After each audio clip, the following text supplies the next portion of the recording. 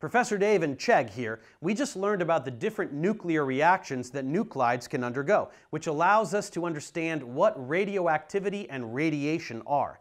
Now let's learn about the different rates at which various radioactive nuclei will decay, based on the precise activity of an isotope. What's interesting about radioactive decay is that there is no precise way to determine when an individual nuclide will decay. Instead, we can only look at a macroscopic sample and measure how many decay events occur per unit time out of the entire sample. This is a very reliable value, but for each individual nuclide we can only discuss probabilities. But again, we can still discuss a rate of decay for a sample, which is negative delta n over delta t, or the number of nuclide disintegrations per unit time. This value is negative because the number of nuclides is decreasing as decay continues to occur. We can set this equal to the number of nuclides present times a proportionality constant, k.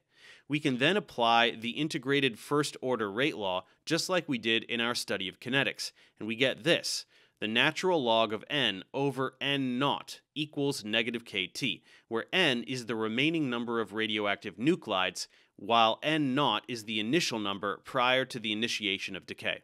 We can also describe the rate of decay in terms of half-lives, or the amount of time that must elapse for a sample of radioactive nuclei to be reduced to half the original amount it will be the case that a half-life will be equal to the natural log of 2 over k, or 0.693 over k. So if we know the rate constant, we can get the half-life, or if we know the half-life, we can get the rate constant. Let's try an example. The rate constant for the decay of technetium-99m is 0.116 per hour. What is the half-life? Well, let's plug this in for k in the half-life equation, and we get 5.98 hours.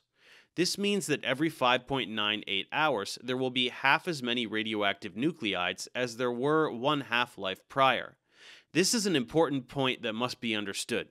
It is not the case that after one half-life, half the original sample is present, and then after another half-life, all of it is gone.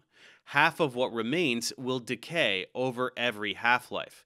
So after two half-lives, there will be a quarter of the original sample. After three, there will be one eighth, then one sixteenth, and so forth. With fewer nuclides, the probability of decay decreases. Let's try one more problem. The half-life of molybdenum 99 is 66 hours.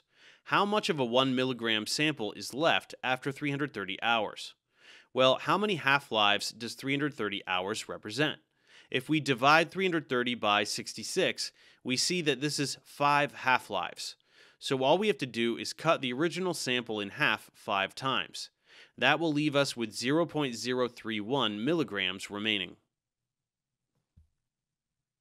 So we now know a bit about the kinetics of nuclear decay in the context of half-lives, which is an important concept with many practical applications. Professor Dave for. See you next time.